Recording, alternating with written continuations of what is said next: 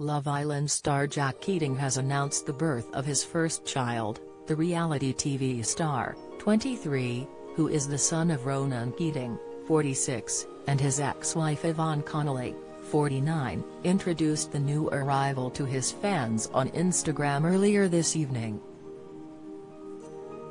Jack, who appeared in Casa Amor on the ITV2 show last summer, took to the platform tonight to share a black and white photo of himself cradling the newborn baby.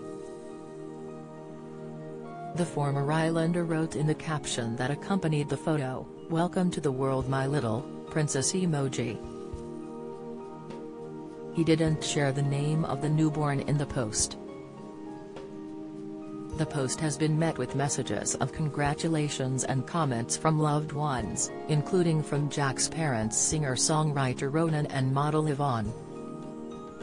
Ronan, best known for having been in group Boyzone, took to the comments section of his son's post this evening, writing, Little cutie.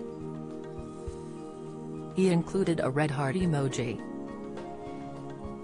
Yvonne also responded to her eldest child's post on the platform, with her commenting, I miss her so much already. She included several heart emojis in her comment. They weren't the only relatives to have commented on the post, as Jack's stepmother Storm Keating, 41, who has been married to his dad Ronan since 2015, also responded to it. The TV producer took to the comments of Jack's post and responded with heart emojis. Some of his former co-stars from the eighth series of Love Island last year also reacted to his post.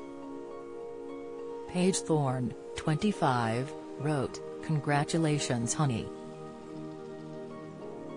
Whilst Summer Botwe, 22, commented, Congrats. And Deji Adeniyi, 26, said, Congratulations brother. Chyna Mills, 24, said, Congratulations Jack. Whilst fellow Islander Molly Salmon, 24, said, Congratulations Jack. You'll be the best dad.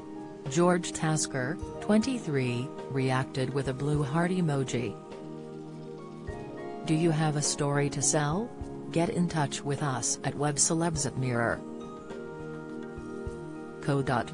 Or call us direct 0207 29 33 033.